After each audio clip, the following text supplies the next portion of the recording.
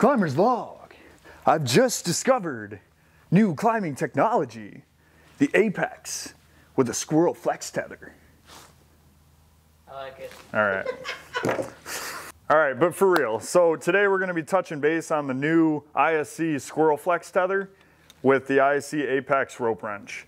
Um, this device is, is super cool in comparison to the original just due to the fact that it's fully adjustable um, as well as this tether here still offers the flexibility, but is still super rigid and will keep its place going up. Um, you can see here that it comes with a small accessory mini carabiner that you can install on either one of these for chest tending, depending on where you're trying to install that. Um, whether you're a taller person, you want that up top, drag your hitch up, or if you need it lower, I would probably run it lower for myself personally. Um, it offers the dual sewn eyes in the, the bottom side here.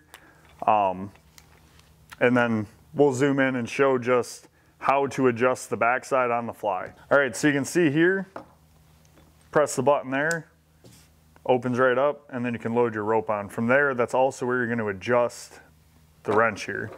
So you can see on this side, you have numbered settings for less or more friction. So by pulling out on that, I can twist to the side and adjust my friction on the fly. Um, the biggest gain I see here is a common problem is prior to going out onto a limb walk, I might have to collapse the head to transition out onto a branch.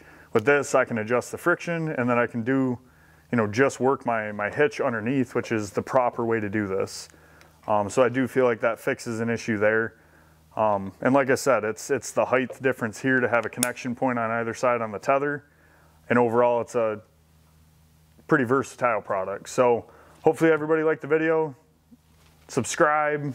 Um, check us out on Instagram, Facebook, YouTube, bartlettman.com. Have a good day.